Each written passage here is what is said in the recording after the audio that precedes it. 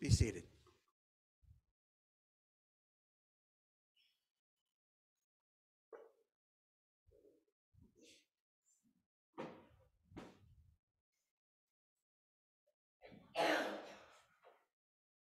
May the words of my mouth and the meditations of our hearts be acceptable in your sight, O God, our strength and our Redeemer. Amen.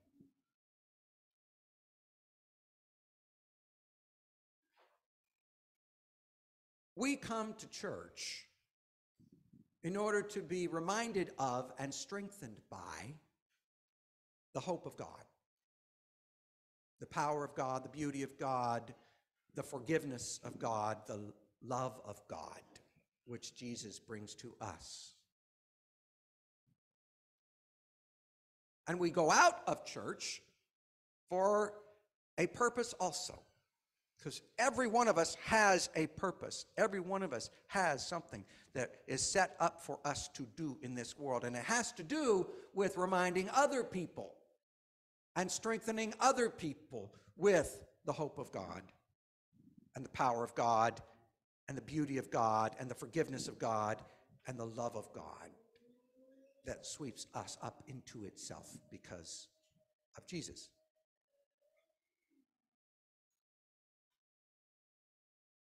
In the Gospel of Matthew, Jesus begins his public ministry, his, his uh, statements and his teaching that he does for large numbers of people. He says, Repent. That means uh, change your mind or shift your attitude or reorient your way of thinking about the world. That's what metanoia in Greek. Meta, change, noia, mind. Shift your mind around because uh, the kingdom of heaven, that is, the hope of God, the power of God, the beauty of God, the forgiveness of God, the love of God. The kingdom of heaven is near.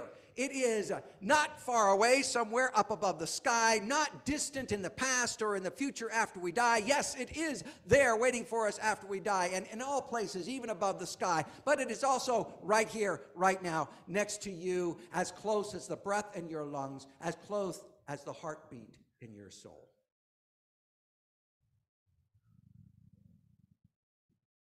Jesus says, Repent, for the kingdom of heaven is close. And then Jesus tells us about the kingdom of heaven. He teaches us about the kingdom of heaven. There are five sections in the Gospel of Matthew that have uh, Jesus' teaching in them, five teachings of Jesus. The first is the Sermon on the Mount. This is where he tells us uh, about the kingdom of heaven. And he says, the first words of the Sermon on the Mount are, Blessed are the poor in spirit. So if you are running on fumes right now, if you're almost out of gas, if you have no powerful vision from the Holy Spirit of the future, if you don't have flash and charisma in your heart and soul, if you are grinding at the bottom of your spirit, you are blessed. You're still blessed because God is with you right now. Jesus says, Blessed are the meek. Not a popular way to be these days, being meek. Blessed are the meek. Blessed are the peacemakers. If you've ever met an actual peacemaker, you will find out that they are not very meek, most peacemakers. Jesus says, Love your enemies, pray for those who persecute you, give without expecting anything in return. Don't make a big show out of your religion and pray simply, Our Father, he says. He says, Store up for yourselves treasures in heaven where thieves will not break in and steal and where the stock market crash can't reach it. He says, Don't worry. Don't worry. Jesus says, don't worry.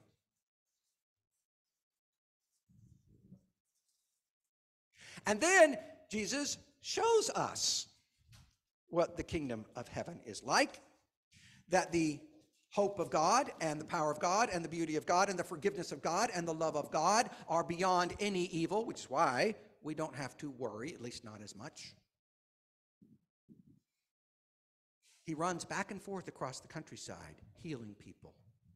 He heals, uh, he heals people who can't see and gives them the ability to see. He heals a person who is paralyzed and can't move. He heals someone who is sick on the bed and suffering terribly. He raises the, up the centurion's servant. He heals a, a, a woman who has had a flow of blood for 12 years. He raises a little girl up from the dead. The power of God and the beauty of God and the hope of God and the forgiveness of God and the love of God are beyond sickness, beyond death. And Jesus casts out demons too. He casts a demon out of a person who's not able to talk. He casts out demons that will devour entire societies, that will devour entire nations. He casts out a legion of demons, like a Roman legion, that will uh, swallow up your entire country. They will. And he sends them howling into a herd of pigs. And then in the gospel lesson for today, he turns to his disciples and says, Your turn. Your turn.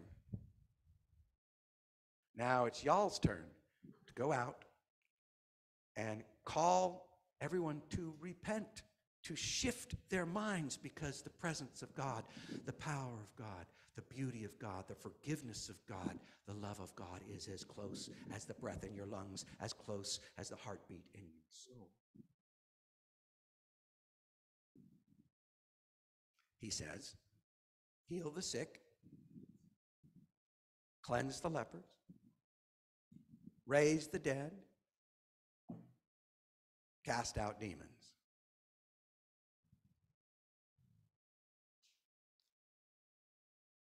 Okay.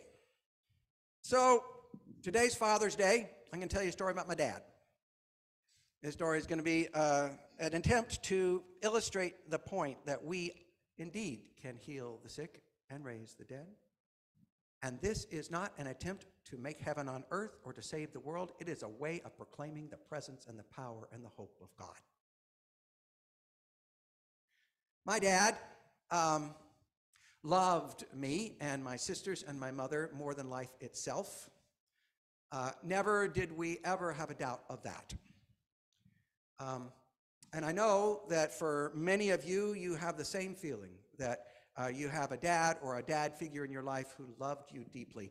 Uh, but I also know that not all of you have had fathers or father figures in your life who you knew would love you. And if that's the case for you, I am terribly sorry about that. Uh, so dad loved us deeply. He also drove us nuts, like all dads do. And, uh, and he was not a perfect person, and there's no such thing as a perfect dad. In our particular case, uh, among other things, uh, we wished he might have spent a little less time at church and, more to the point, a little less time worrying about church. Fill church in with job here, everybody. Okay? You'll get somewhere. Right? But my dad taught me about proclaiming the realm of God, and he taught me about um, casting out demons. In 1965, uh, my family moved from Tennessee down to Ocean Springs, Mississippi on the Gulf Coast. It was the year that they desegregated the schools. And my dad came to this little bitty mission church in a storefront on Washington Street, downtown Ocean Springs, a beautiful little small town, South Ocean Springs, uh, Mississippi town. Uh, there were oak trees along the side of the road down Washington Street and downtown Mississippi. And, and my dad came to the church council at um, Christus Victor Lutheran Church in Ocean Springs, and he said, the first thing he said was, anybody who wishes to be uh, worshiping at our congregation is welcome to do so. Yes, he says. And the council says, yes. This in contradistinction to the Methodist church down the road, which was much bigger and much older and uh, much more well established in Ocean Springs, uh, where people got so tied up and so afraid and so anxious and so twisted around with, uh, with uh, nervousness about all the desegregation stuff that when a black family showed up to worship at their church, they called the police. Now, this is not to say that we were better than them. Because at Christus Victor Lutheran Church, most of us had moved down from the north. And we did not have to deal with the raising and the expectations and the reinforcement and, quite frankly, the family threats that folks at the Methodist Church would have had to deal with with regard to this issue. Most of us had moved down to work at Litton's Shipbuilding and at Standard Oil in, in Pascagoula, Mississippi, and about a third of the congregation was military from Keesler Air Force Base, and the military had been desegregated for about 17 years by now, so it was no big deal to them. It wasn't that we were better than the Methodists, it's that we had different gifts and we could do different things. In 1967, after our nice little bitty church building has been built uh, on the edge of town, um, my dad started a kindergarten at uh, the Lutheran Church. And that was the beginning of my understanding that whenever you have an educational institution going on in your building, you will have tensions with the educational institution in your building. It's just a thing. Just ever since 1967, we've known that. But my dad uh, insisted that this be an integrated kindergarten, that anybody from any heritage be able to come and send their children to the kindergarten. This was the first integrated kindergarten to be set up on the Gulf Coast, along with St. Alphonsus Roman Catholic Church, which began their kindergarten, and theirs was integrated too. So the Lutherans and the Catholics started integrating their kindergartens the same year. Dad went door to door in the African American section of Ocean Springs. Uh, much older houses, much smaller houses, much more bunched together houses, much narrower streets, and less well kept. And he'd knock on the door and he'd say, If you will send your child to our kindergarten, we will pay all of the fees and tuition.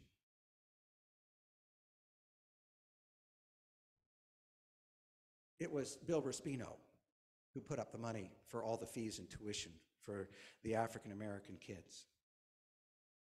Bill Raspino, he's kind of a middle aged guy with a paunch here and a bald head and a kind of a squinchy face. He was an accountant at Standard Oil Refinery in uh, Pascagoula, Mississippi. He was very conservative, very Republican. Bill Raspino put up the money. A handout a handout. You're giving a handout, some people might have said. I don't know. Is it a handout? Or was Bill Raspino casting out demons?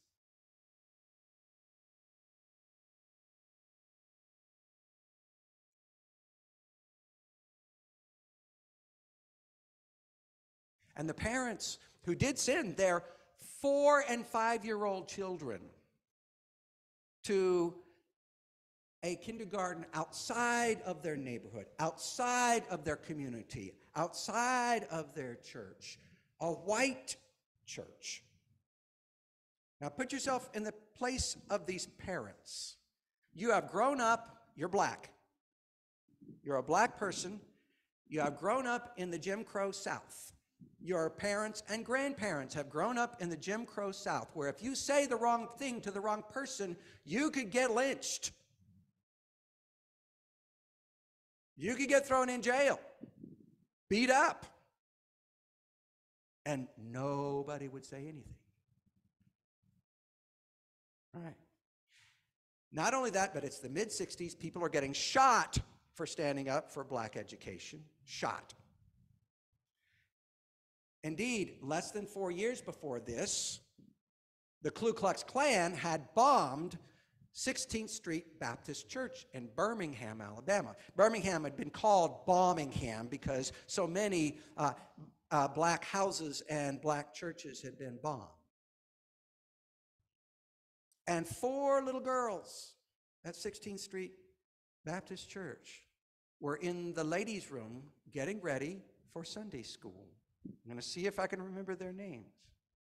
It's Addie Mae Collins, Cynthia Wesley, Carol Robertson, Denise McNeil, aged 14, 14, 14, and 11. And they'd been killed in a bombing by the Ku Klux Klan, who, by the way, is raising their ugly heads again in Mount Sterling and in Corbin right now. Terrorist organization.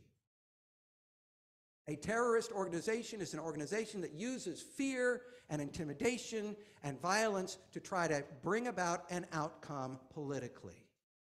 That's a terrorist organization. Ku Klux Klan is a terrorist organization. Now, you are an African American couple. You have children, three, four, five years old, and you're going to send those children to a white church? And they did. Yes, they did. They had the courage. And they were willing to trust my dad.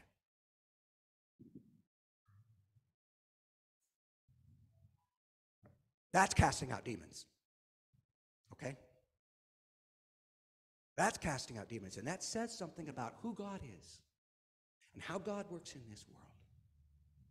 That no matter how deeply entrenched the evil is, no matter how fundamental the hatred is, God's power, God's love, God's hope, God's beauty, God's forgiveness, and God's love are deeper.